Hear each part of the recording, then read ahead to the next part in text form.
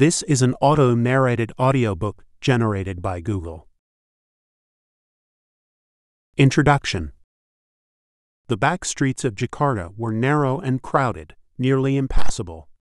My interpreter and I had taken the precaution of wearing head scarves, and we trusted our driver. But we still felt nervous because the man we were going to meet, Muhammad Rizieq Syihab, was the leader of Indonesia's most disruptive Islamist group, the FPI. Founded in 1998 after the fall of the dictator Suharto, the FPI claims only a few thousand members in a nation of 237 million. But it seeks headlines by attacking nightclubs, cinemas, casinos, brothels, and restaurants that stay open during Ramadan.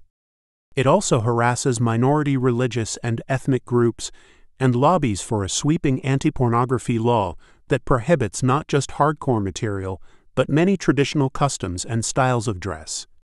Reputed to have ties with the police and military, the FPI does not engage in suicide bombing. But it does seek to discredit the many indigenous forms of Islam that have flourished in Indonesia since the 13th century and replace them with the strict, one size fits all version of Islam practiced in Saudi Arabia. Rizieq invited us to join a circle of watchful aides seated on the carpeted floor of his modest house. Knowing that he opposed Western democracy and capitalism and had studied in Saudi Arabia, I was prepared for some negative responses to my questions about American cultural influence, and I got them. Like many people I have met overseas, Rizieq showed little awareness of America's larger cultural heritage or even of its classic popular culture. To him, American culture consists mainly of the latest commercial entertainment from rap and rock that reduces you to the level of animals, making you dance like a monkey, to films and TV shows that use slogans like freedom to cover immoral behavior like gambling, alcohol, prostitution, and homosexual marriage. He also believed that the U.S. government was deliberately exporting these harmful influences as part of a Western conspiracy to destroy Islam. It is tempting to say, get over it, Sex and violence in the media are the price we pay for freedom, and compared with living under a dictatorship, it's worth it. This is the implicit message of many news reports about foreign protests against U.S. entertainment. Typically, these reports present only two sides the freedom side and the extremist side. But this is not the whole story because in Indonesia and many other countries, there are millions of sensible, down to earth people who reject extremism and favor democracy, while also worrying about the impact of American entertainment on their society. For example, the day after my meeting with Rizieq, I spoke with Rosiana Silalahi, then chief editor at SCTV, one of Indonesia's leading networks. A savvy journalist, Silalahi spoke staunchly in favor of free speech as the cornerstone of Indonesian democracy but she also expressed dismay at the cutthroat competition between TV channels that was leading some to copy the worst aspects of American television. As a woman, I hear complaints from mothers about the kind of shows that are on when the family is having dinner. One channel showed a Sinetron serial drama right after the 5:30 p.m. news where a woman hanged herself and they showed her in close-up gagging to death. The program in question was not American. But Indonesian producers take their cues from the world's most successful entertainment industry, and so do their counterparts in almost every other country. And very often that means more sex and more violence. Remarking at the speed with which American popular culture was getting into society, Silalahi told me that just a few years earlier, no young Indonesian girl would have dreamed of dressing in revealing outfits similar to those worn by the American pop singer Britney Spears. As for violence, in 2013 Silalahi told me that a number of Indonesian boys had been injured, even killed, while imitating the American TV show SmackDown, an in your face fight show from World Wrestling Entertainment.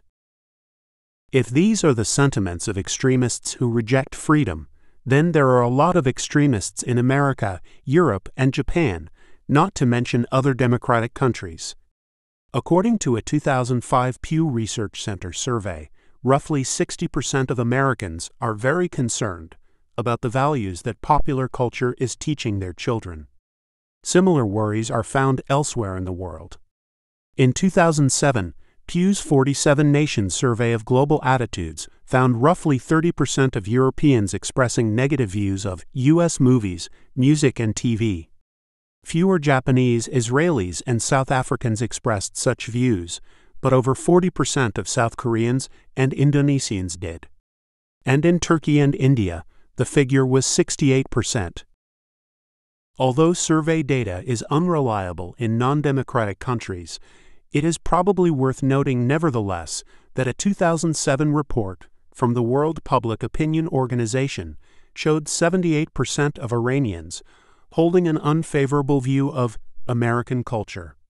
And according to Pew, negative views of U.S. movies, music, and TV are held by majorities in such strategically important countries as Russia, Jordan, Egypt, and Pakistan. Not surprisingly, poll data from most Muslim majority countries show high percentages believing, with Rizieq, that the U.S. government is using American culture as a weapon against Islam. For example, a 2009 poll by World Public Opinion showed 80% of Egyptians agreeing that one of President Obama's policy goals was to impose American culture on Muslim society. Because these attitudes are not typically held by English speaking elites, they tend to be overlooked. In the words of Yuli Ismartono, a senior editor at the popular Indonesian newsweekly Tempo, Americans always miss the point. For most non Westerners, America means fast food, Starbucks, cowboys, and sexual freedom. The real American persona is not well understood. I try to tell people that our traditional values are the same, but TV and movies send a different message. It is also tempting to dismiss these attitudes as hypocritical, given the tremendous global success of the U.S. entertainment industry. Between 1989 and 2010, foreign sales of U.S. films and TV shows increased fourfold, from $3.6 billion to $14.2 billion. Today, Hollywood's foreign box office earns twice as much as its domestic, and the gap is widening. In terms of impact, we should also count the illegal distribution of U.S. entertainment. This cannot be measured with any precision, but one influential estimate comes from a 2006 report commissioned by the Motion Picture Association of America, MPAA, which estimates that MPAA members lost $6.1 billion to piracy in 2005, much of it due to major pirating industries in other countries, notably China and Russia. Donny Gahral Adian, a professor of philosophy at Indonesia University, recalled for me that under Suharto, America was officially denounced as materialistic, individualistic, promiscuous, and dominated by gangsters. So he found it ironic to see those same stereotypes subsequently reinforced by U.S. entertainment. At the same time, Gahral Adian noted that his students, who come from diverse backgrounds in Indonesia and Southeast Asia, embrace American popular culture as the common coin of social interaction, something everyone can talk about in the cafe or mall. Hearing this, I remembered a meeting in Berlin with the eminent German journalist Gunter Hofmann, who commented with a wry smile that part of the glue holding the European Union together was the younger generation's shared passion for American culture. What should we make of these contradictory reactions? Is American popular culture a destructive force, a liberating one, or both? How do its products shape global perceptions of the nation's ideals, policies, and way of life? There is no simple answer to these questions. But a useful first step might be to imagine popular culture as a funhouse mirror, giving an exaggerated view of America's faults, from sexual immorality to gun violence, political corruption to financial malfeasance. Americans may relish the exaggeration or recoil from it, but either way we automatically adjust the picture in the light of our own experience. A similar adjustment is possible for others who have access to accurate information about the United States, whether from travel, study, or exposure to its larger cultural heritage. The problem is, most human beings have no such access. So they cannot adjust the picture, and while they often find it entertaining, they seldom admire it. This conclusion is supported not just by global opinion polls, but also by the more fine grained data gathered by media and advertising companies. These data are not available to researchers, but their overall findings were summed up for me by advertising guru Keith Reinhard. What foreigners object to, Reinhard explained, is not just the pervasiveness of American popular culture, but also its coarsening. As he noted, much of our entertainment is promoting values not in concert with other people's values and morals. Reinforcing this observation is a key finding of the Pew survey cited above. In 42 of the 46 nations surveyed, a majority of respondents agreed with the statement, It's bad that American ideas and customs are spreading here. Since only a tiny percentage of the world's people ever visit the United States, the question arises where did these respondents get their impressions of American ideas and customs? The Pew researchers do not explore the connection, but the answer is popular culture. The point is borne out by abundant anecdotal evidence. For example, on a 2011 visit to Iraq, columnist Peggy Noonan asked an Iraqi military officer what was the big thing he'd come to believe about Americans in the years they'd been there. The man replied, You are a better people than your movies say. In Cairo, I met a poet who asked me whether it was true that over 50% of American fathers sexually molest their children. Startled, I asked where she had gotten that idea. It is standard fare on American TV talk shows, she told me. If it isn't that common, then why are they always speaking about it? From the comments of Americans working in U.S. international visitor programs, I gather that foreign visitors frequently express surprise at the difference between the Americans they are meeting on the ground and the ones they see depicted on the screen. A report commissioned by the State Department's International Visitors Program offers this summary. People who watch U.S. television shows, attend Hollywood movies, and listen to pop music can't help but believe that we are a nation in which we have sex with strangers regularly, where we wander the streets well armed and prepared to shoot our neighbors at any provocation, and where the lifestyle to which we aspire is one of rich, cocaine snorting decadent sybarites. This is not an accurate description of the U.S., nor is it attractive to many people around the world. The visitors were very clear that their images of America, shaped by commercial media, were inaccurate and distorted, and gave them a negative perception of the United States. The slow death of public diplomacy. The word culture is notoriously hard to define, but the definition offered by historian John Keegan is as good as any. As he writes, culture is that great cargo of shared beliefs, values, associations, myths, taboos, imperatives, customs, traditions, manners, and ways of thought, speech, and artistic expression which ballast every society. In these pages, culture is used in three main senses a people's way of life, customs, values, ideals, elite artistic expression, literature, fine arts, performing arts, and popular culture, the products of a commercial entertainment industry. During the Cold War, the U.S. government worked hard to promote culture in all three senses by supporting activities aimed at telling America's story, its ideals and way of life, sharing its high culture with foreign audiences, and even at times promoting certain aspects of its popular culture. These activities are part of public diplomacy, a term that also covers government sponsored efforts to explain and defend U.S. policies and, more important, Project American Ideals.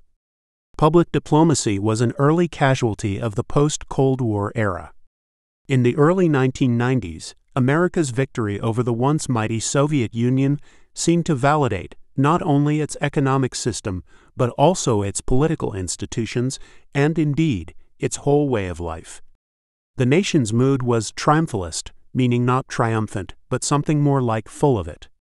Pumping our fists, we declared ourselves number one and described America as both the end of history and the indispensable nation, able to stand tall and see further than other countries into the future. While in that triumphalist mood, the U.S. government got out of the business of public diplomacy. As part of a peace dividend, it slashed funding by one third. And in 1999, it dismantled the agency that had coordinated public diplomacy since 1953, the United States Information Agency, USIA. Three years later, seemingly out of the blue, a bolt of pure terror struck New York and Washington. American triumphalism survived that first blow, finding expression in a fierce, impatient call for revenge. But then the mood changed. The memory of 9 11 became a media cliche. Two wars that were supposed to be clean and swift turned out dirty and grinding. In 2008, the nation was hit by a financial crisis that stirred doubts about its continued economic and political viability. Many such doubts were expressed by America's allies and friends, driving home the fact that, even after electing a new and more eloquent president, America had lost its persuasive powers. And despite over 40 reports published since 9 11, U.S. public diplomacy remains moribund. This book was conceived during the nadir of America's reputation, when many people in Washington were saying that the government had made a big mistake by cutting back on public diplomacy. As a long term observer of popular culture, I wondered whether a bigger mistake had been letting the entertainment industry take over the job of communicating America's policies, ideals, and culture to a distrustful world. Knowing popular culture as I do, its vices as well as its virtues, I questioned the wisdom of deciding, in effect, to make it America's de facto ambassador. That decision was not dramatic. On the contrary, it unfolded gradually on a bipartisan basis over a period of 10 years without attracting any real public scrutiny or media attention. It was also driven by the self interest of the entertainment industry, personified by one of Washington's most powerful and glamorous lobbyists, Jack Valenti of the Motion Picture Association of America, MPAA, and opposed by a weak and demoralized group of practitioners whose clout in Washington has never been great because public diplomacy is largely invisible to the voting public. Finally, the decision reflected a consensus, forged throughout the 20th century, about the unique ability of popular culture to put flesh on the bones of American ideals. Ever since World War I, when President Woodrow Wilson called film a universal language that lends itself importantly to the presentation of America's plans and purposes, Washington has regarded Hollywood as a supremely persuasive ally. Repeated many times since, Wilson's sentiment got a boost in the 1990s when many former Soviet subjects testified to the importance of American movies, jazz, and rock music in sustaining their dreams of freedom. Some of those exports, such as the famous jazz broadcasts on the Voice of America international radio service, were supported by the government. Others, such as the craze for rock music that swept Eastern Europe and the USSR in the 1960s and 1970s, happened of their own accord. But in all cases, the lesson was clear American popular culture helped free the world from communism. Does this lesson still apply? American movies, pop music, and TV shows are still attracting people all over the globe. Does that mean they are still winning hearts and minds for freedom and democracy? My answer is a qualified no, because of three important changes that have occurred since the height of the Cold War transformations in the tone and content of popular culture, in the technology that conveys it to the world, and in the audiences that receive and interact with it. The first change in the tone and content of popular culture dates back to the 1960s when the entertainment industry began catering to the rebellious, angry mood of the generation that came of age during the civil rights movement and the Vietnam War. That generation ruled the market for a simple reason it was large and affluent. Before long, the industry was wooing the icons of the 1960s counterculture First, the record labels signed Bob Dylan, the Rolling Stones, and every band that played at Woodstock. Then the film studios opened their doors to outlaw directors such as Martin Scorsese and Francis Ford Coppola. And finally, the broadcast networks found ways to address the 1960s generation without raising the eyebrow of the Federal Communications Commission, FCC. The result was a commercialized counterculture that soon lost its radical political edge, but retained its compulsion to shock the bourgeois by flouting the limits of public propriety. Vulgarity, violence, and vitriol are easy ways to separate adolescents from their dollars, but commercial pressure is not the only reason for the compulsion to shock. After all, it was commercial pressure that kept the entertainment industry within the bounds of propriety for most of its history. Nor are vulgarity, violence, and vitriol the inevitable result of democratic taste. Many ordinary people, including adolescents, enjoy these things, but many others do not. The real change is in the sensibility of America's cultural elites. Historically, our elites sought to educate and uplift popular taste. Today, out of a misguided populism that expects people with low levels of income and education to have low morals, elites either ignore the degradation of popular culture or worse, encourage it. The second, technological change, is too well known to belabor here. Suffice it to say that for most of the 20th century, the only U.S. government body with the power to censor the electronic media, the FCC, rarely used that power because the broadcast networks were privately owned entities that, like the film studios, practiced fairly rigorous self censorship. But with the massive deregulation of the 1970s and 1980s, to say nothing of the subsequent rise of satellite television and the Internet, the American system of self censorship has eroded. The networks still enforce certain rules, such as the prohibitions on nudity and profanity. The MPAA still rates movies for theatrical release. And record companies still affix parental advisory stickers to certain CDs and MP3 downloads. But as any American 10 year old can attest, these controls are like a wire fence strung across a river. The American media regime is, in effect, the most libertarian in the world. Meanwhile, in the former Soviet bloc and many other places where the media had been state controlled, a revolutionary technology appeared in the 1990s, not the Internet that came later, but commercial satellite television. Intensely competitive, voracious for programming, satellite television opened new vistas for the American entertainment industry. The result, as we've seen, is a tsunami of movies, pop music, TV shows, and video games coursing through legitimate and illegitimate distribution channels, including pirated video discs and unlicensed downloading from the Internet. This situation is unprecedented and bears scant resemblance to the slow, often tortuous diffusion of American popular culture during the Cold War. This brings us to the third change, which is the audience. No longer is the United States sending jazz and classic Hollywood films into information starved Eastern Europe and the Soviet Union, as in the early decades of the Cold War. Nor is it sending rebellious youth culture to dissidents who welcome it in the spirit of the European avant garde, as in the later decades.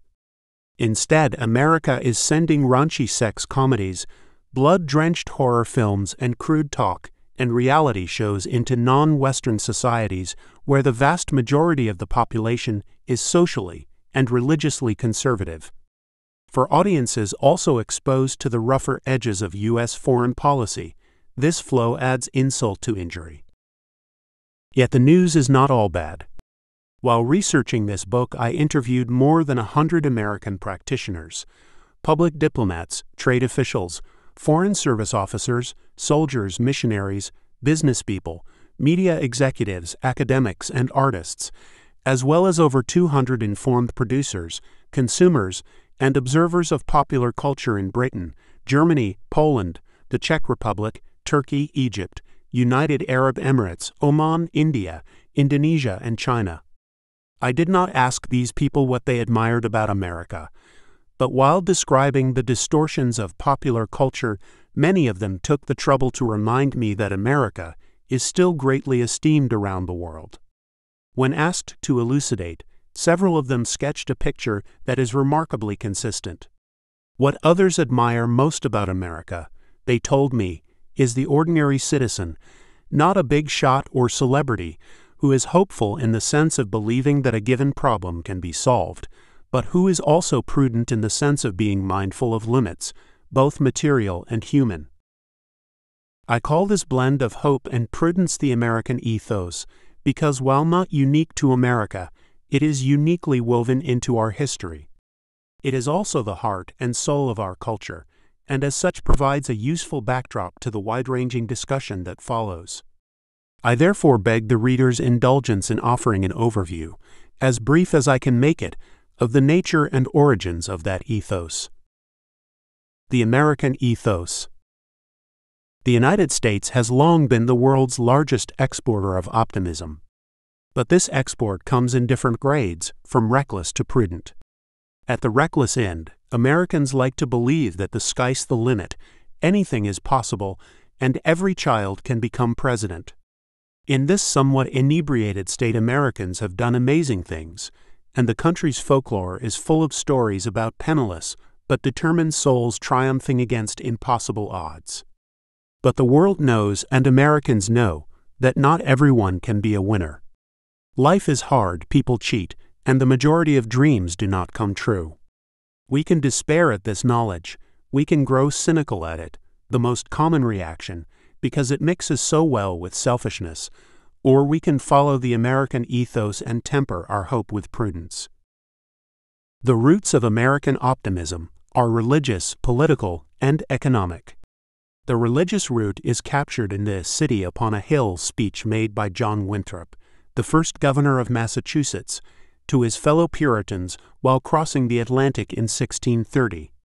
For Winthrop, that biblical image evoked a real city that, because it stands on a hill, attracts scrutiny. The eyes of all people are upon us, he continued. If we shall deal falsely with our God, then, we shall surely perish out of the good land whither we pass over this vast sea. At the same time, the Puritans shared with their fellow dissenting Protestants, including the Pilgrims, who arrived on the Mayflower ten years earlier, a vision of the New World as a shining city upon a hill, a redeemed and blessed Jerusalem that would serve as a light to the world. Endlessly recycled by presidents John Adams, Abraham Lincoln, John F. Kennedy, Ronald Reagan, Bill Clinton, George W. Bush, and Barack Obama, to name a few, this vision ceased to be purely religious quite early in American history and also became political. This political optimism is rooted in John Locke's Enlightenment view of the human condition, the so called state of nature, as perfect liberty. In this condition, Locke argued, people are naturally inclined to obey the law of nature, essentially the golden rule given by God. For Locke, evil is not ingrained in human nature, but rather results from human striving, which leads to inequality, which leads to envy, theft, violence, and war. Like his countryman Thomas Hobbes, Locke believed that human reason can devise a social contract to protect property. But unlike Hobbes, Locke did not believe that the price of the social contract must be the surrender of liberty to an absolute ruler. Instead, Locke called for a social contract that would protect liberty and added that if it fails to do so, then the people have a God given right to dissolve it expressed most eloquently by Thomas Jefferson in the Declaration of Independence. This idea is the key to the American Revolution. As for the economic root of American optimism, it can be found in Adam Smith's defense of free enterprise. Against the mercantilist view of wealth as finite, Smith argued that wealth can be grown if the people have economic liberty. Smith was well aware that greed is a vice condemned by both classical philosophy and Christianity. But he made a moral distinction between greed, which connives to seize the wealth of others and hoard it, and acquisitiveness, which works, earns, and accumulates wealth in a manner that benefits others. For Smith, acquisitiveness was the virtue that opposed the vice of greed. This was also the view of America's iconic entrepreneur, Benjamin Franklin, except that he identified 13 virtues temperance, silence, order, resolution, frugality, industry, sincerity, justice, moderation, cleanliness, tranquility, chastity, and humility. No one ever accused Franklin of being too temperate, silent, chaste, or humble. but for millions of his countrymen, he was the exemplar of beneficial striving. To thinkers who remain attached to an aristocratic tradition, these bourgeois virtues are lowly compared with the lofty virtues of courage, honor, and loyalty. But Americans trace a connection between these lowly virtues and the capacity for self government. Alexis de Tocqueville called this connection self interest properly understood, and while he gently mocked the American habit of using it to explain almost every act of their lives, he also praised its cumulative impact, which was less to inspire great sacrifices than to produce a lot of orderly, temperate, moderate, careful, and self controlled citizens. Clearly, the optimism grown from such roots is entwined with prudence. And the roots of American prudence are also religious, political, and economic. First is Puritanism, which followed John Calvin in believing that the soul can play no part in its own salvation, because before time began God decided which souls will be saved and which damned. By this harsh logic, the whole business of salvation is radically removed from any sort of human agency.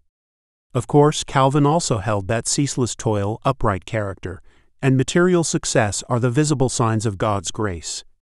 Hence the Puritan work ethic, which consists of putting in long hours, staying on task, and dealing honestly with others, and then feeling conscience stricken about the riches that result. The problem was aptly summarized by the Puritan divine Cotton Mather, who quipped in 1702 Religion brought forth prosperity, and the daughter devoured the mother. The political root of prudence is the philosophy of the generation who fought the revolution and drafted the Constitution. It can be shocking to read the expressed doubts of these men about democracy, and some historians portray them as closet aristocrats. But that is not the point. The framers were students of classical republicanism, which defines politics as an exalted realm that the common people, demos, cannot enter because they lack the breeding, wealth, and education to develop virtue. Rather than endorse that view, the framers sought to create a democratic republic in which the demos would rule under a system of checks and balances. To the Puritan objection, voiced most forcefully by John Adams, that it is not possible for ordinary people to develop the virtue required for self government, the reply was that it was possible, as long as they are given a proper education, held to a strict public morality, and assured of a just distribution of property. This brings us to prudence's economic root. Adam Smith was part of the Scottish Enlightenment, a tradition that did not detach economic analysis from reflection about politics and civic virtue. That's why economist Herb Stein once quipped that Adam Smith did not wear an Adam Smith necktie. Stein was referring to the cult of Smith as a libertarian for whom free markets and free trade are the only things needful for America to thrive. This was not Smith's perspective, for he had a realistic view of human nature. Indeed, his work is studded with references to dishonest merchants, exploitative manufacturers, corrupt officials, and other cynics out to game the system. Smith also called for robust government interventions, including bank regulation, temporary monopolies to innovative companies, and limits on interest rates. No society, he wrote, can surely be flourishing and happy of which the far greater part of the members are poor and miserable. If the word prudence sounds too sober, let me add another crucial dimension the debunking spirit of comedy, which, as noted by political thinkers from Aristotle to Tocqueville, is akin to the spirit of democracy. The dry wit of the Yankee, the tall tales of the frontiersman, the sly folk tales of the slave, the satire of Mark Twain, the ethnic jokes and pratfalls of the minstrel and immigrant vaudevillian, the riffs of the stand up comedian, the hilarious antics of cartoon characters from Mickey Mouse to Bart Simpson. All these and more have conditioned ordinary Americans to laugh not only at the high and mighty, but also at ourselves. If you doubt that comedy is a form of prudence, consider the humorlessness, indeed the positive antipathy toward humor, found in tyrants and dictators.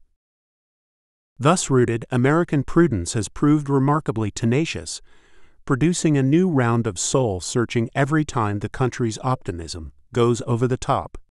But this raises another question. With all this prudence, why does American optimism go over the top? The Religion of Progress. In early 2012, the Burmese pro democracy leader Aung San Suu Kyi warned the international community not to take an attitude of reckless optimism toward her country's immediate future. This remark was criticized on the ground that it might dampen the enthusiasm of potential investors. Suu Kyi's response was sharp and commonsensical.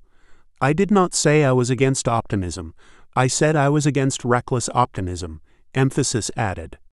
This common sense distinction is rarely made by America's leaders these days. On the contrary, they avoid facing the real problems and skewer those who do face them for being pessimistic about America's ever brighter future. Indeed, envisioning an ever brighter future is something that leaders in every walk of American life feel obliged to do. And this obligation, too, has deep roots in our history. Here, too, the story starts with religion. American Protestantism lost its Puritan edge during the First Great Awakening of the 1730s and 1740s, when a new and passionate style of preaching sowed the idea that anyone, no matter how humble, even in some cases, a woman or an African American, could, if sufficiently fired by the Holy Spirit, outpreach the educated ministers with their advanced divinity degrees.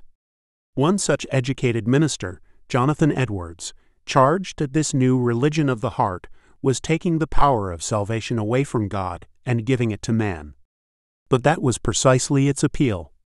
Homegrown, egalitarian, individualistic, affirmative of human agency, the First Great Awakening triumphed because it rode the same political tide as the Revolution. Then came the Second Great Awakening, which began in the 1790s and consisted of huge camp meetings, attracting thousands of people, lasting several days, and climaxing in a fever pitch of emotion. Among the churches hosting these events, the Methodists excelled at disciplining the crowds, and more important, giving the proceedings a tangible purpose, a vision of America's destiny as the millennium or perfected Christian community that would precede the second coming of Christ and final day of judgment. This vision is called postmillennial because it expects the day of judgment to occur after the millennium. Shared by rich and poor, this postmillennial vision played a crucial role in the reform movements that sprang up in the 1820s and 1830s. Temperance, public education, female suffrage, abolition, all were seen as steps toward the perfecting of God's chosen nation. Postmillennialism also shaped the doctrine of manifest destiny, which conferred divine blessing on the nation's westward expansion in the early 19th century. Tested by the Civil War, postmillennialism surged back as the faith of the triumphant Union and, at century's end, as the justification for America's imperialistic adventures in the Caribbean and Pacific. A popular novel of 1897, In His Steps, begins with a congregation pledging not to act without first asking themselves, what would Jesus do? and ends with a mystical dream of the whole human race taking the same pledge at the dawn of the millennium. But such dreams were soon challenged by massive immigration, labor conflict, World War I, and intellectual currents such as Darwinism, Marxism, and higher, biblical criticism. In the 1920s, the postmillennial vision was replaced by a more secular one, which resembled its predecessor in expecting great things for America, but differed from it in expecting them to come from science, not Christ. This religion of progress, as historian Christopher Lasch calls it, saw scientific expertise as the key to the perfected future, not just in technology and medicine, but also in human affairs, including politics. Yet this vision is an odd amalgam. Mainly, it is not scientific, Claiming the objectivity of science, it expects only positive outcomes. Real science offers no such guarantee. Its methods can deliver a distressing verdict as readily as a reassuring one. To sum up, the American ethos of sustaining hope while coping prudently with harsh reality is admired by others not because it is American, but because it achieves better results than despair or cynicism. What is not admired is America's faith, not in the biblical God, who hands down both blessings and judgments, but in the deity of progress, who hands down only blessings. Not surprisingly, the ugly American, past and present, is the person who believes that the United States can save the world quickly, easily, and on the cheap. The example on my interlocutors' minds was the catastrophic lack of foresight accompanying the U.S. invasion of Iraq. But that is but one episode in a history of reckless adventures. The American belief in progress is not always ill founded. The rapid rise of the United States came at a steep price. Millions of human beings conquered, uprooted, enslaved, exploited, and killed. But it was nevertheless one of the wonders of the world. The theologian Reinhold Niebuhr was no fan of reckless optimism. On the contrary, he was one of its sharpest critics.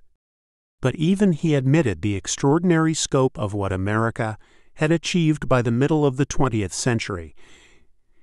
It had emancipated the individual from irrelevant social restraints and inequalities. It had unloosed the initiative of the common man, particularly in economic pursuits, and had harnessed the forces of nature so that hitherto unknown standards of well being could be achieved. It had established a democratic political order and vanquished ancient tyrannies. Faith in progress is still the driving force behind the one aspect of America still highly esteemed in every country of the world its extraordinary technical achievements. To cite one humble example, Americans began in the early 19th century to build houses in a new way not by joining heavy timbers, as had been done for centuries in Europe, but by simply nailing slender 2by4s together in a balloon frame. Disparaged by traditionalists as having no framing at all and sure to collapse in the first strong wind, these light, boxy structures proved capable of withstanding the most extreme elements. Today they fill the American landscape, and all it takes to build one are basic carpentry skills, mass produced nails, and a lot of straight lumber. But human affairs are different, because, as Kant famously wrote, out of the crooked timber of humanity nothing straight was ever built.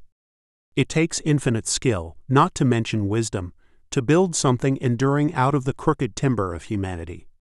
That is why the writings of the American founders are so fascinating. For all their love of liberty, they fully expected the house they were building, the U.S. Constitution, to be pulled apart by the sheer perversity of human nature. Here we find the main drawback of the religion of progress. It rejects the framers' political wisdom as outmoded, in the same way that their standards of hygiene and methods of transportation were outmoded. This is mistaken. A car may be faster than a horse and buggy, but unless there has been a miraculous transformation since I read the newspaper this morning, the timber of humanity is still as crooked as ever. Freedom and censorship. America's ideals include freedom, democracy, equality, individualism, and the rule of law under a constitution. Yet most of the people I interviewed did not dwell on these lofty abstractions. One reason may be that these ideals are not easily ordered, prioritized, or reconciled. The political scientist Samuel Huntington linked them together in an American creed, but also noted that their meanings frequently shift, giving rise to creedal passions that divide as often as they unite. This is certainly true of today's blue state and red state Americans.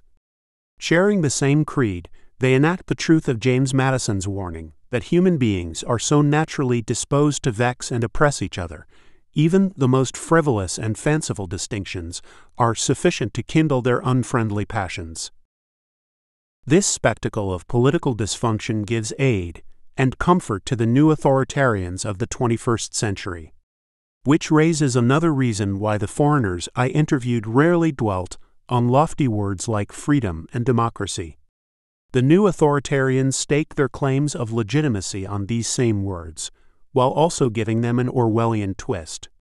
For example, the Chinese Communist Party, CCP, affixes the label democracy to a form of government that is in fact the opposite. To justify its continuing grip on power, the CCP defines democratic governance as the Chinese Communist Party governing on behalf of the people. When pressed, the CCP defends this in cultural terms as Minben, the Confucian doctrine holding the ruler accountable for the welfare of the people.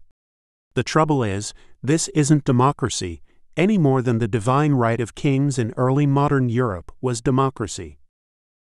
To untwist such meanings, Americans need to engage with the rest of populations living under 21st century authoritarianism. But to do so productively, we also need to stop ignoring the elephant in the living room our ubiquitous popular culture, which reaches into every media market of the world, even those that are ostensibly closed to it.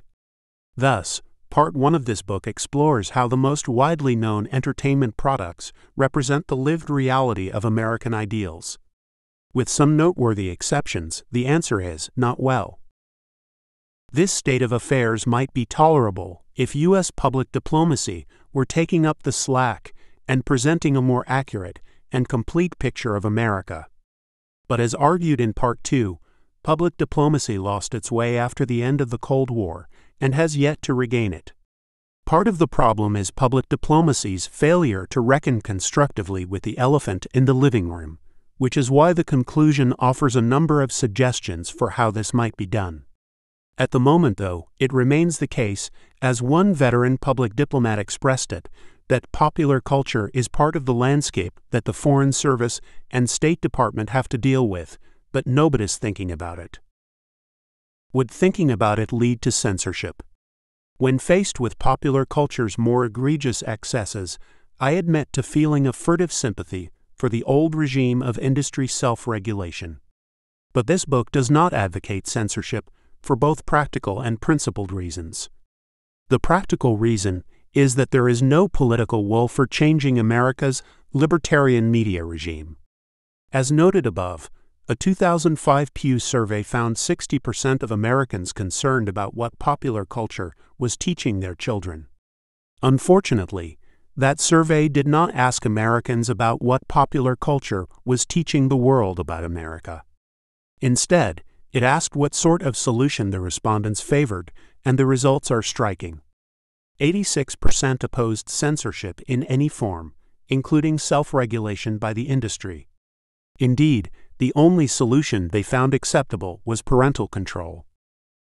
Most of humanity rejects this libertarian view. For example, the young Bollywood actor I met in Mumbai expressed approval of India's state censorship board because filtering is needed. Indians strongly support a free press and free political speech, but they distinguish between that kind of freedom and the kind that allows the depiction of graphic sex and violence, because they consider the latter a threat to public morality. There was a time when Americans and Europeans made the same distinction, but no longer. Today, many people in the West dismiss as retrograde the idea that political speech is more deserving of protection than shocking or obscene speech. But it is still an important distinction in many societies, including some that are struggling to break free of authoritarian rule. A further practical reason is this. Even if America were to summon the political will to censor popular culture, the cost of doing so would prove prohibitive.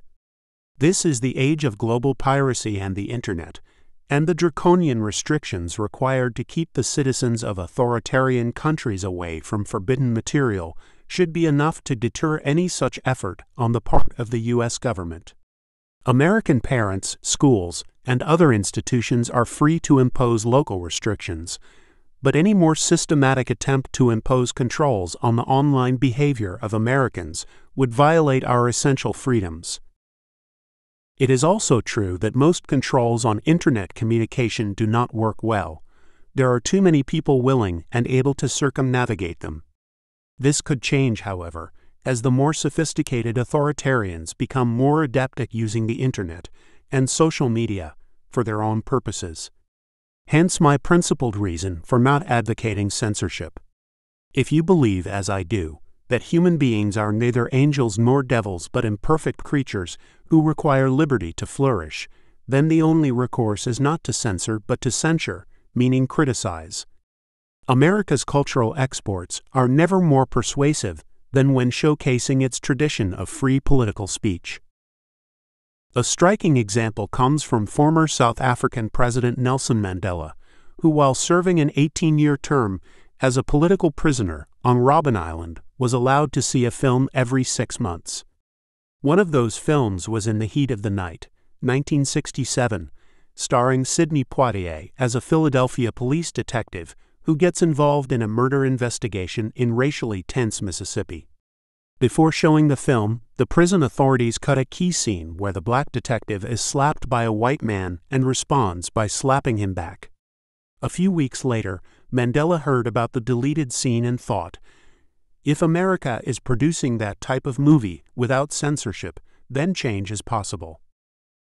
Yet even this fairly recent example does not capture the special flavor of 21st century authoritarian regimes, which differ from their 20th century predecessors in not trying to remake human nature for the sake of a future utopia, racial in the case of Nazi Germany and South Africa, communist in the case of the USSR and China, theocratic in the case of Saudi Arabia and Iran.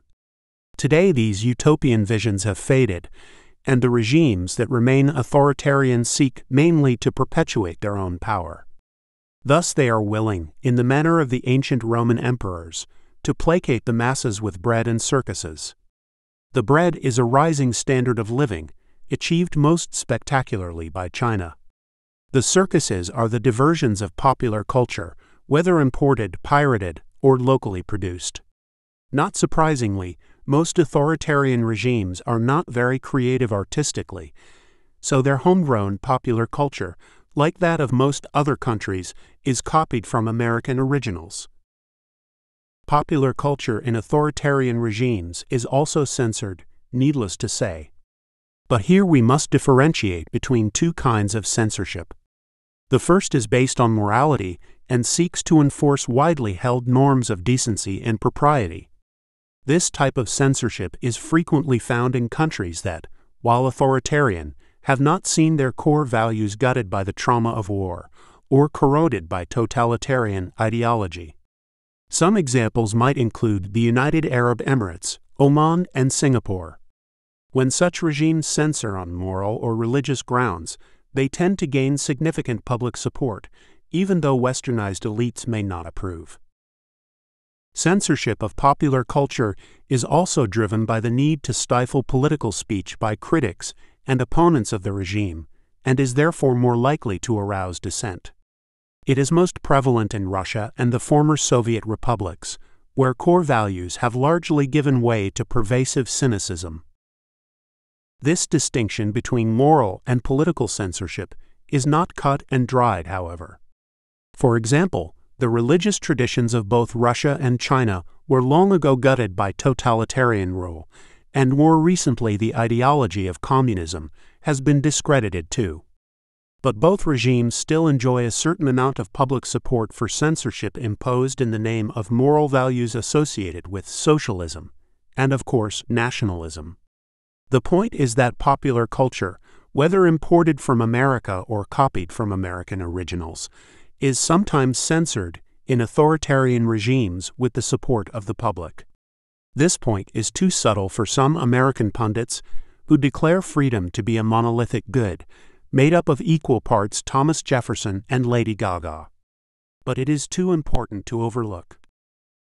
This book does not provide an exhaustive analysis of America's cultural footprint upon the entire globe, much less offer social scientific proof of its impact on any given population.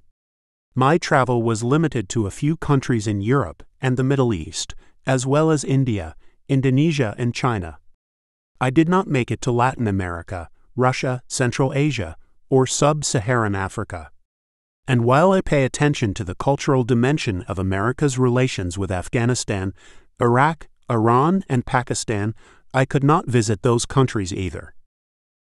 There are also many relevant topics not addressed in these pages, among them sports, consumer goods other than entertainment, and the international flow of elite art and culture.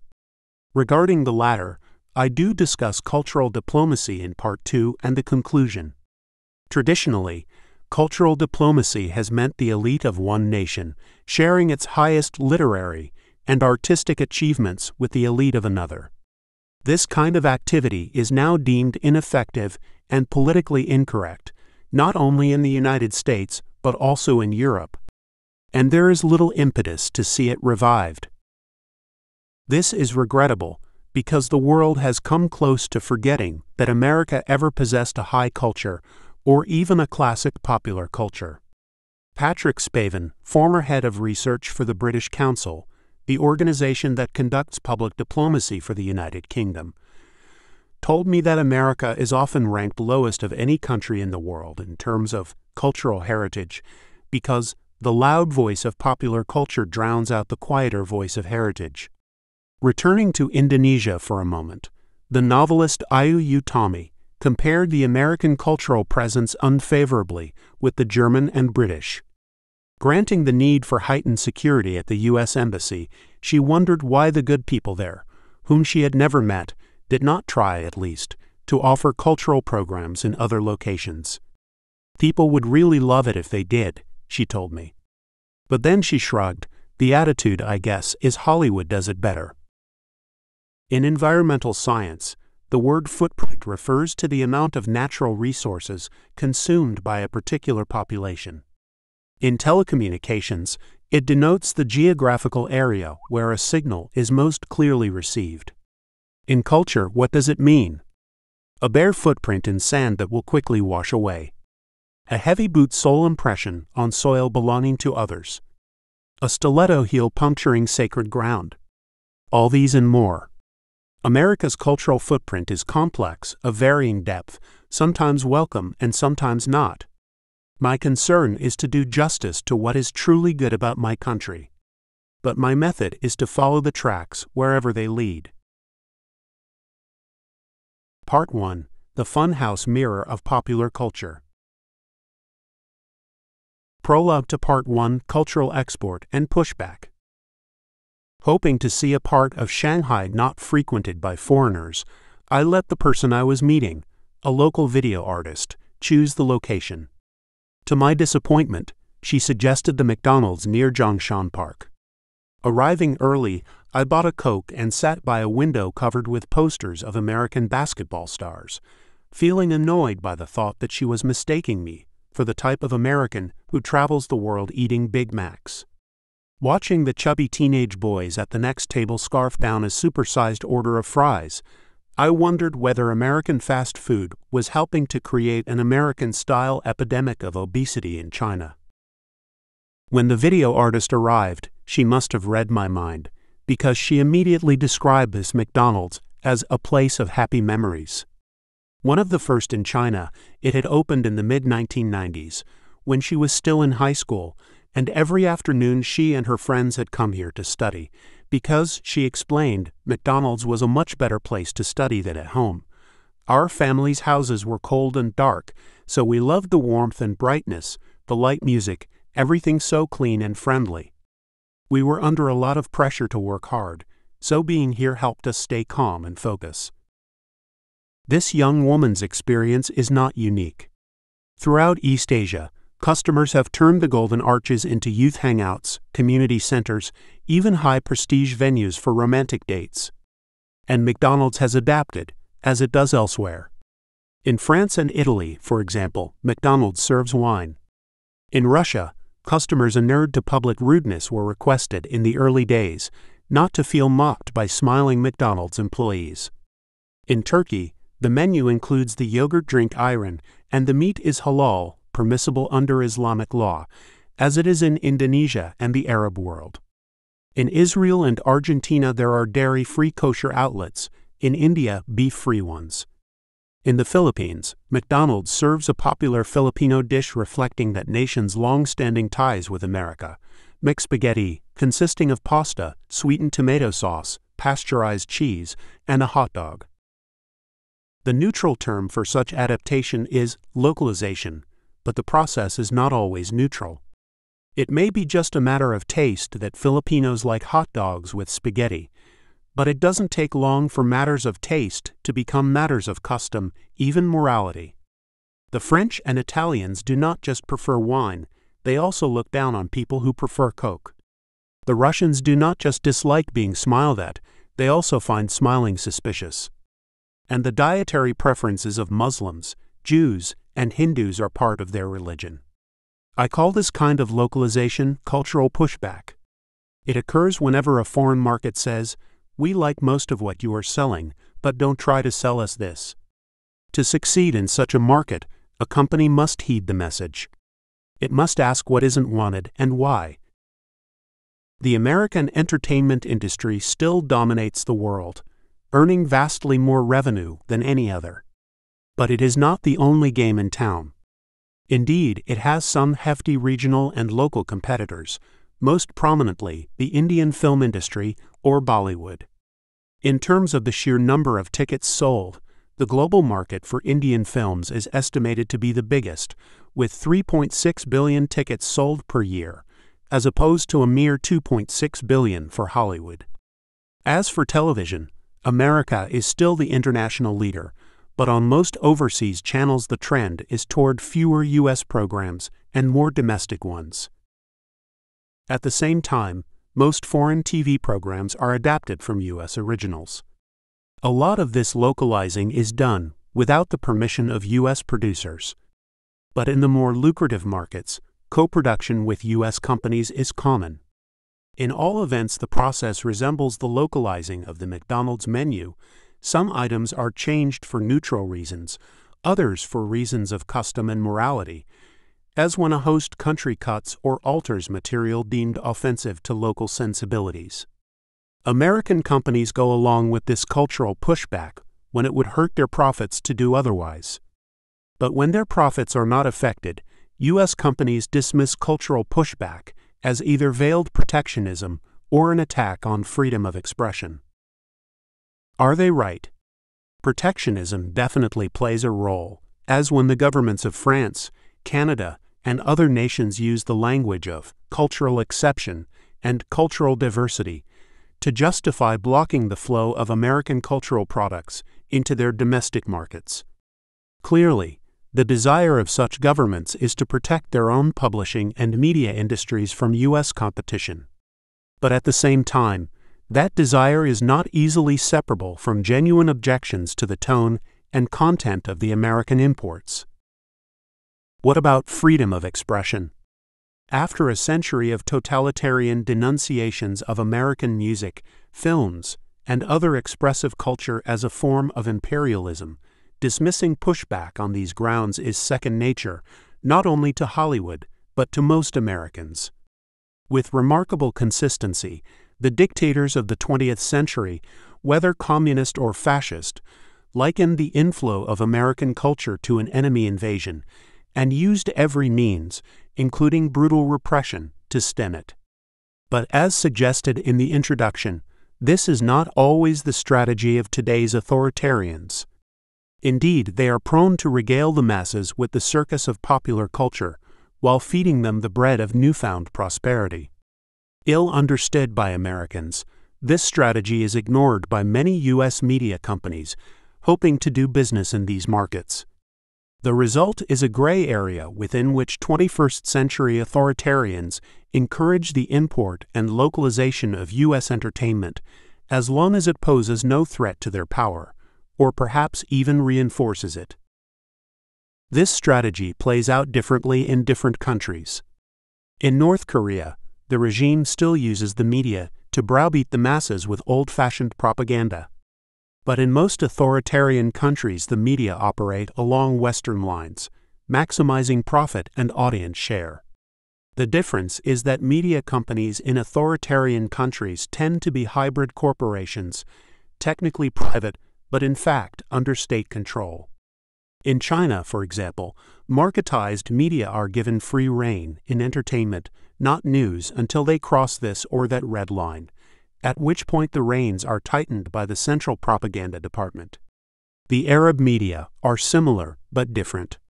They are similar because most of the major companies are owned by wealthy investors from the Persian Gulf who either are members of their respective ruling families or have close ties with them. So here too, there is a price for crossing the red lines.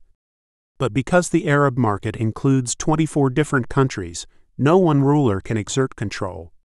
The result is a much more open, and competitive media environment than in China. The point here is that virtually all foreign media, including those in authoritarian states, must pay attention to the tastes, values, and preferences of their audiences. In more lucrative markets, this means Nielsen ratings and other U.S. style audience research.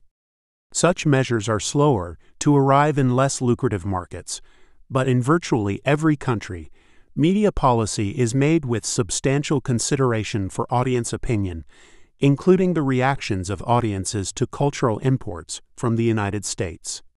For example, both democratic India and undemocratic Oman forbid the release of Hollywood films containing raunchy sex or horrific violence. And while both decisions reflect the priorities of the regime, they also reflect genuine public sentiment, not least because in India and Oman, as in many other countries, movie going is still a family affair involving everyone from toddlers to grandparents. Despite the many local variations in its menu, the name McDonald's is synonymous with standardization because every one of its 33,000 outlets around the world offers the same basic package of food, service, and physical setting. There is no denying that certain aspects of this package have universal appeal. For example, in all 119 countries where McDonald's does business, the most popular menu item is the French fries. Equally appealing is the friendly service and the cleanliness of the facilities.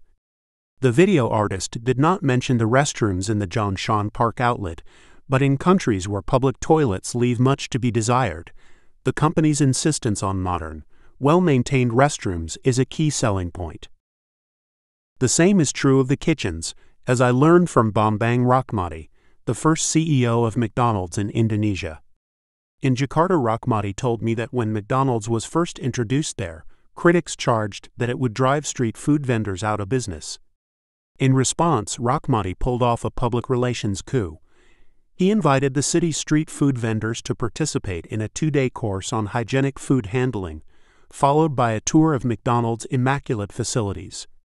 This made quite an impression, he said, in a city where foodborne illness is common and the majority of restaurants do not clean their kitchens very often. Stepping back, we can see a pattern.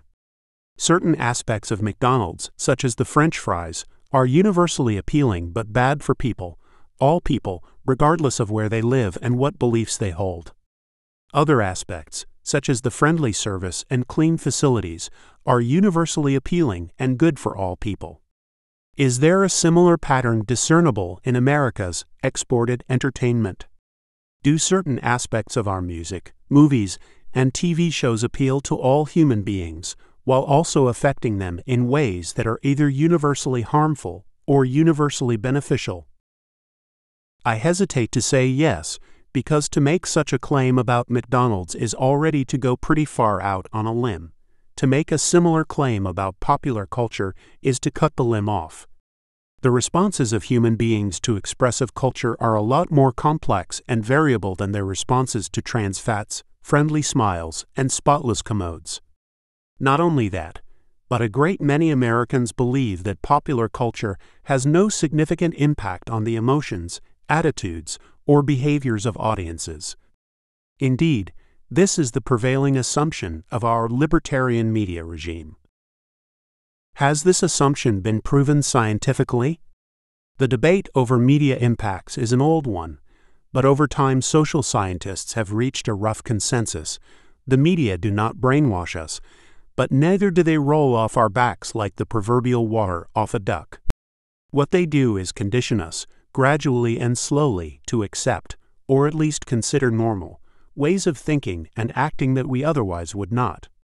At the same time, social scientists admit it is impossible to quantify the impact of media on the beliefs, customs, and mores within a given society, much less across borders. Yet the fact that social science cannot measure precisely the conditioning power of popular culture does not mean that rational analysis cannot conclude that this power exists, and that it may be used for good or ill nor does a lack of conclusive data prevent billions of human beings from treating their TV, movie, and computer screens as windows onto life in America, and from judging, on the basis of what they see there, whether its ideals and way of life are worthy of emulation or attack. Rubber Duck goes to China. After the return of Deng Xiaoping to power in 1978, the Chinese government began to allow selected U.S. films to be shown in the country's small number of theaters. According to Dai Xingyu, a professor of literature and film at Peking University, the films were chosen with careful attention to their use as propaganda. Thus, one of the selections was a justifiably forgotten 1978 release called Convoy, directed by Sam Peckinpah in his cups and starring Kris Kristofferson as Rubber Duck, a maverick truck driver who uses the hot new social medium of the time, Citizens Band, CB Radio, to lead a spontaneous revolt against a crooked, racist sheriff in the southwestern United States. Asked why Convoy was chosen, Dai speculated that it was probably released for the purpose of disillusioning the Chinese people about the supposed high quality of Hollywood films, and because of its low cost. The film also serves the added purpose of making the United States look anarchic. In keeping with the countercultural mood of the 1970s, it shows Rubber Duck leading a Malay-Lung convoy of semi-trailers across New Mexico to protest injustice, while also showing that the only way to obtain justice in America is to take the law into your own hands. At one point, a headline seeking governor offers help, but sensing he's about to be used for a photo op, Rubber Duck spurns the offer and, after surviving a military assault by the National Guard and staging his own death, rides off into the sunset with a sexy new girlfriend in a bus full of stone Jesus freaks. In true Peckinpah fashion, the final shot is of the crooked sheriff, grinning in recognition of Rubber Duck as a kindred spirit. Viewed this way, Convoy delivers just what the Chinese authorities wanted a cynical message about America as a place where local officials are corrupt and tyrannical, higher officials clueless and self serving, and the common man free only when defying the system. But the authorities failed to anticipate the film's impact on a younger professor, Tang Jimeng of Beijing Foreign Studies University. Eyes sparkling, this member of the Tiananmen Square generation recalled how Convoy changed his life. I felt like saying, You're kidding but I bit my tongue when Tang waxed eloquent on Convoy's depiction of an ordinary working stiff who goes wherever he wants, does whatever he wants, and punches out any thug in uniform who tries to stop him. Viewed Tang's way, Convoy appears a potent messenger, if not of democracy and the rule of law, then certainly of freedom, equality, and individualism, all rolled together. The raw, gut level urge to bust loose, kick over the traces, and light out for the territory has been a staple of American culture since the earliest days. Immortalized in Mark Twain's Huckleberry Finn, Walt Whitman's Song of the Open Road, and Jack Kerouac's On the Road, it is also a perennial theme of popular music and, needless to say, of Hollywood movies, where it typically involves a fast car, a vast expanse of gorgeous scenery, and a heart pounding soundtrack. Of course, the same combination of car, scenery, and soundtrack is also used to sell cars. Indeed, it is rare to see an automobile ad on television or the internet that does not use this formula. Like it or not, the American love of freedom, equality, and individualism is also identified with our unabashed consumerism. I say unabashed because while Americans have always craved material possessions, we are human after all, we did not always consider that craving a form of citizen virtue. That idea arose at the turn of the 20th century when the economist Simon Patten argued that America was creating a new economy of abundance to replace the old economy of scarcity. The son of Presbyterian farmers in Illinois, Patten had been raised to see money as the root of all evil. But as a student of the new social sciences, he came to believe that science could develop and justify the restraints which would protect abundance from the evils of men's greed and the urges of the flesh.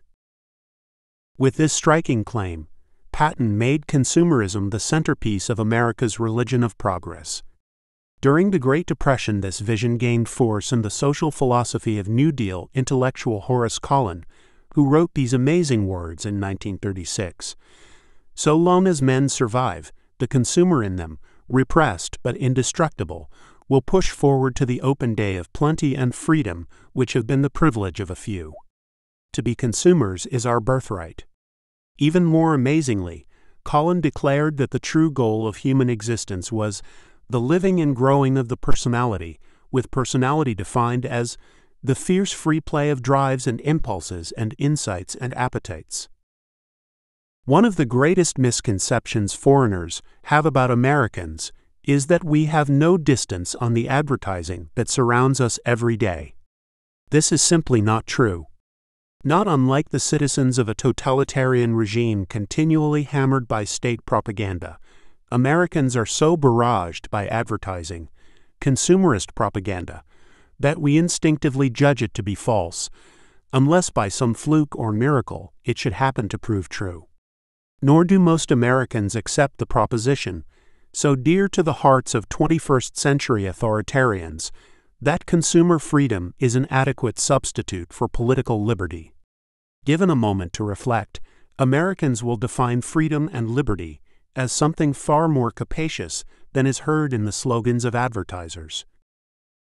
Regarding freedom and liberty, the historian David Hackett Fischer makes the intriguing point that English is the only Western language to include both words. Noting that freedom derives from the tribal languages of Northern Europe and liberty from Latin, Fischer traces their different roots. For freedom, they are words meaning beloved or belonging, suggesting a birthright enjoyed equally by every member of a tribe. For liberty, the root is libertas, meaning a specific release from a specific restraint granted by a ruler and not the same for everyone. Fischer's point, highly relevant here, is that both words connote responsibility to a larger community. Freedom entails a sacred obligation to the tribe. Liberty depends on the virtue of the citizen. Indeed, the opposite of liberty is libertinism, from the Latin libertinus, meaning a person who has been granted more liberty than he can handle. A distinction to ponder the next time an American president uses the word freedom 49 times on a single occasion, as George W. Bush did in his second inaugural speech. When listeners around the globe hear such a speech, what images and associations come to their minds? The political wisdom of the American framers? The giddy personal freedom expressed in a movie like Convoy?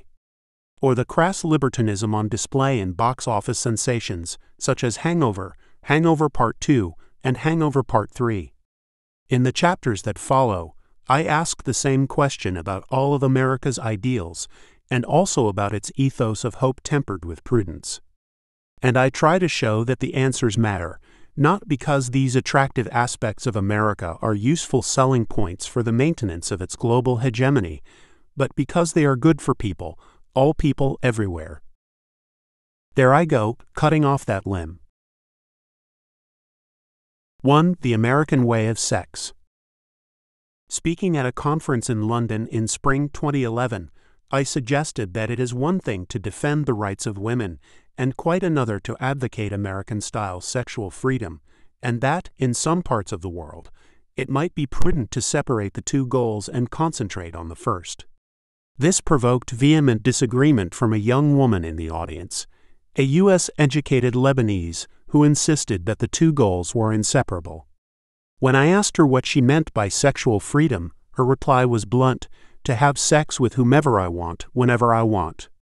To my follow up question, even after you're married, her reply was, Yes, I plan to create my own marriage, make it unique, an open marriage, or whatever. How naive, I thought, how 1970s. But all I said was, we tried that in America and it didn't work. Pleasure, commitment, and generativity. However naive, this outlook thrives in the sweet spot of American culture. The interlude between childhood and adulthood when university bred youth live apart from their families, presumably starting a career, but also enjoying a degree of affluence and personal freedom, including sexual freedom, unknown to most of their age peers around the world. Americans now see this interlude as temporary, a period of transition between the first stage of sexual maturity, which is pleasure or individual gratification, and the second, which is commitment, or love and fidelity between partners. The third stage, generativity, brings the burdens and joys of caring for children, aging parents, and other relatives. Because generativity is so crucial, most societies give it priority over the other two, especially pleasure. When this meets resistance from the young, as it inevitably does, it is the task of adults to demonstrate, by persuasion and example, the rewards that come with growing up. This task is always hard, but it gets harder when popular culture sends the opposite message. Recent evidence shows that the families of highly educated Americans are more stable than those of their less educated countrymen. In a significant change from the 1970s, the well being of lower middle class families has declined, making them almost as fragile as the families of the poor. While this development is presumably related to the growing income disparity between the wealthiest Americans and the rest, it also reflects the cultural changes of the past 40 years. The recent economic downturn has been hard on families, to be sure. But in the past, even the poorest Americans struggled to hold their families together because that was what was expected of them. Today, the expectation is quite different. Indeed, the loudest message we hear, especially from popular culture, is that sexual autonomy and pleasure constitute the ultimate human good, overshadowing all others. If highly educated families are better at holding together, it may well be because they have the resources to push back against the legacy of the sexual revolution. The American sexual revolution can be traced to the 1920s, when a generation of artists and writers began self consciously to reject the strict sexual morality of the 19th century. By the 1950s, Americans had heard of Freud, and although Freud himself took the tragic view that sexual repression was necessary for civilization, his name was invoked by Paul Goodman, Allen Ginsberg, Herbert Marcuse, Wilhelm Reich, and other social critics for whom erotic liberation was the key to a radical transformation of the social and political order. This being America, erotic liberation soon acquired a post millennial flavor. Indeed, in the hands of sexologist Alfred Kinsey, Playboy publisher Hugh Hefner, and journalist Helen Gurley Brown, the idea became a quasi religious summons to smite repression, free the libido, and build an erotic utopia. Today, that summons is all too familiar, and for many of its critics, the only solution is to bring back the old puritanical morality of the 19th century. This is not my position. That morality was frequently blinkered, biased against women and minorities, and unnaturally strict. Instead of turning flesh and blood human beings into saints, it too often turned them into silent sufferers or moral hypocrites. It did, however, have one point in its favor. It expressed a certain prudence toward sex that is more in keeping with the American ethos than the reckless optimism that replaced it. The Urban Singles Comedy After the attacks of 9 11, dozens of studies were done of America's image in the Arab world. One of these, headed by former Ambassador Edward Djerejian, quoted an English teacher in Syria does Friends show a typical American family? The question is puzzling given that Friends, a popular sitcom that ran on NBC from 1994 to 2004, is notable for not showing a family. On the contrary, it belongs to a genre of TV show, the urban singles comedy, that focuses on the sweet spot, that is, on the lives of young, unattached men and women living in pleasant urban settings with a comfortable income, a huge amount of personal freedom, and little or no contact with their families or communities of origin. The genre is summed up by the creators of Friends in their original pitch to NBC. It's about sex, love, relationships, careers, a time in your life when everything's possible. And it's about friendship because when you're single and in the city, your friends are your family, emphasis added. When I started my research, Friends was not uppermost in my mind. But the more I traveled, the more I saw the extent of its global appeal. The producer of Friends, Warner Brothers, estimates that the program has been telecast in 135 countries and key territories, reaching an average of 14 million viewers per telecast. And these figures are only for the lucrative markets of Europe, Australia, and East Asia. They do not include a host of other countries where Friends is carried by satellite and terrestrial channels.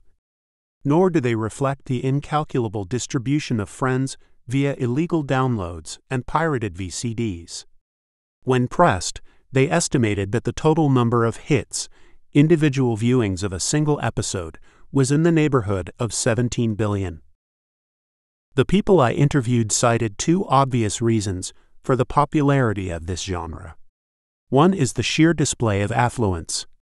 These shows are replete with what the veteran producer Aaron Spelling called eye candy. In more recent programs produced in the era of high definition television, such as Sex and the City and Desperate Housewives, the eye candy is even more enticing.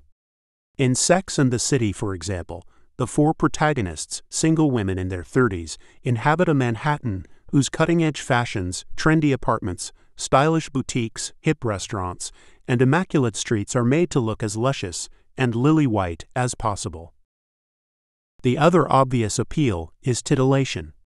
Friends is full of sexual innuendo and, to quote the film rating system, implied sexual situations. But as a network program, it must respect the parameters set by the FCC. Less restrained is Sex and the City, which, as a production of the cable channel HBO, is able to include lascivious language and explicit bedroom scenes. It does stop short of nudity, however, giving the bizarre impression that promiscuous New York women never remove their brasiers. In one episode, the lead character, a newspaper columnist named Carrie, asks, Is sex ever safe? In this sanitized Manhattan, the answer is yes. Carrie and her friends have frequent encounters with men they scarcely know, but the worst that ever happens is that the sex is less hot than the women had hoped. But eye candy and titillation are not the main reasons put forward by most of the young people I met overseas. For them, the whole point is a chance to live vicariously in the sweet spot. Here it is worth reporting an observation made by an Indian senior executive working for Sony, whom I interviewed in Mumbai. When asked about the general pattern of Indian channels localizing U.S. programs, the executive commented that shows like Friends were the exception because the lifestyle they depict had no equivalent in India.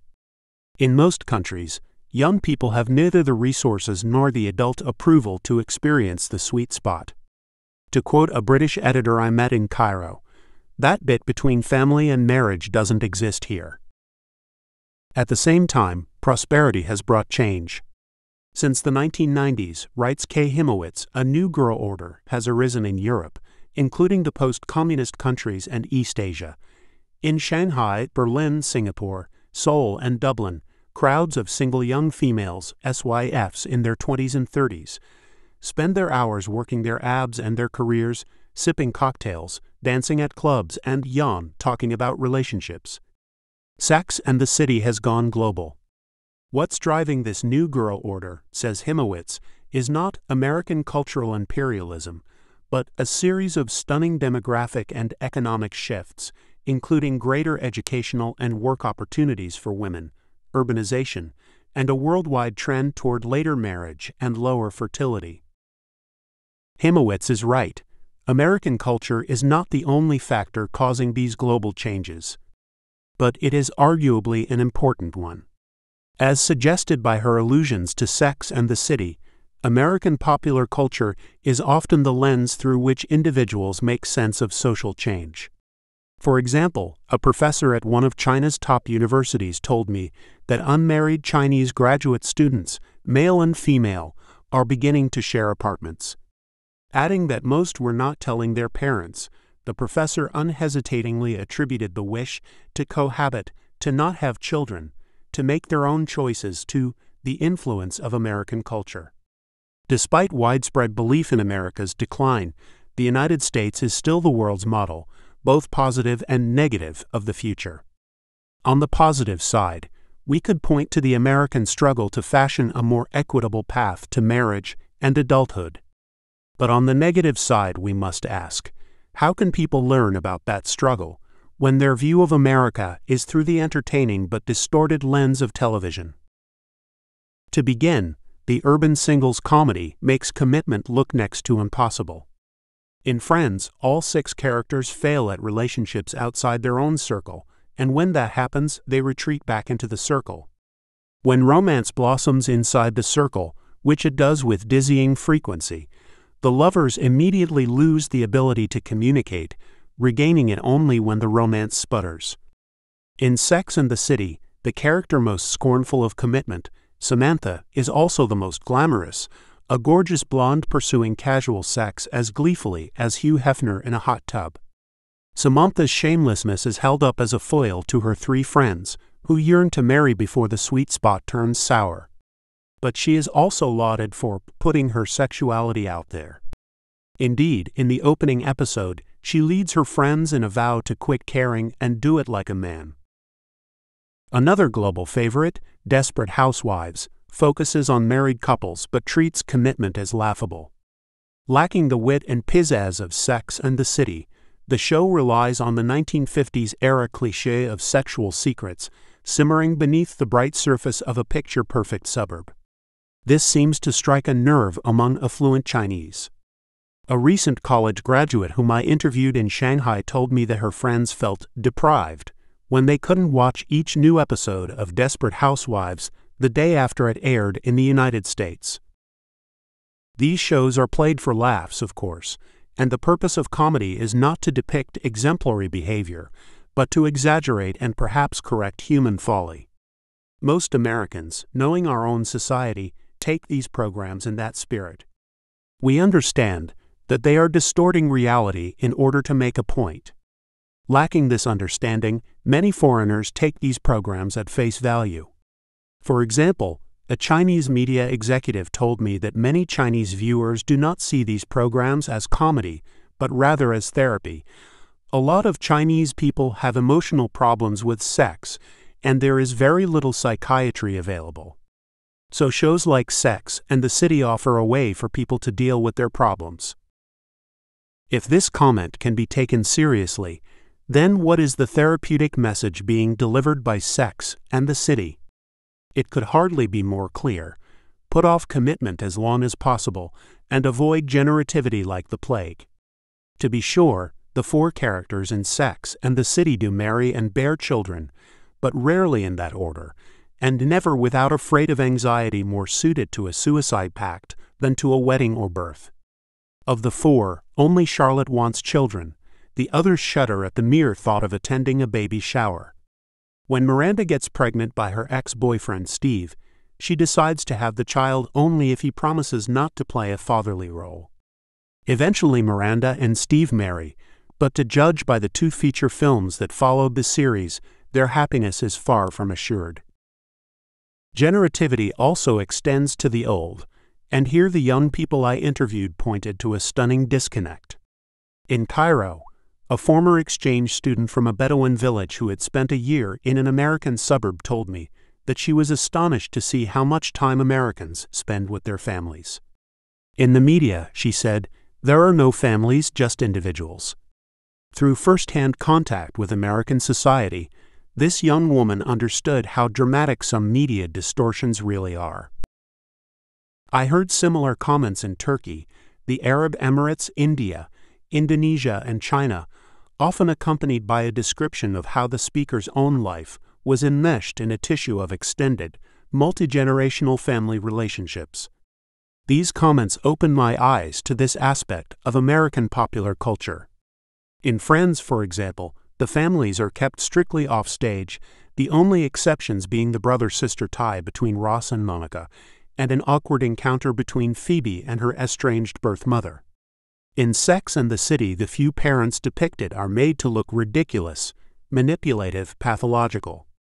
And all other relatives, siblings, grandparents, aunts, uncles, cousins, are airbrushed out. It is true, of course, that single city dwellers tend to hail from other places and have little daily contact with the folks back home. But these shows turn distance into willed oblivion. My family lives in Philadelphia and I don't like them, says Miranda in Sex and the City. Charlotte is devoted to the idea of having a family, but at her joyful wedding to the equally devoted Harry, we get nary a glimpse of the families that presumably instilled that devotion. Most astonishing is Carrie, who seems to have sprung from the pavement of East 73rd Street as Aphrodite from the sea foam. Midway through the fifth season, Carrie mentions in passing that her father abandoned the family when she was small. But in 94 episodes, two feature films, and two weddings in which she is the bride, there is no mention of Carrie's mother or any other family member. How to explain this disconnect? One answer is the abiding prejudice against old people found in America and American media. So pervasive is this prejudice, I was startled, when watching television in India, to see gray haired grandmothers in commercials for fruit juice and house paint. On American television, there are no gray haired women. And if you see a gray haired man, he's either the villain of the piece or selling Viagra. Another explanation, noted by Time magazine, is that gay writers are behind the TV shows that are most provocatively defining straight relationships. To some degree, the estrangement from family life historically suffered by gay Americans has been projected onto these non gay characters. For example, when Miranda's mother dies, her grief seems mainly directed at her family for rejecting her as a single woman in my 30s. The pastor mischaracterizes her as a sister in law, and the only person willing to escort her from the church is her friend Carrie. This note of exclusion, even shame, at being single may strike a chord in societies where women are still expected to marry by a certain age. We hope you enjoyed this preview. To continue listening to this audiobook on Google Play Books, use the link in the video description.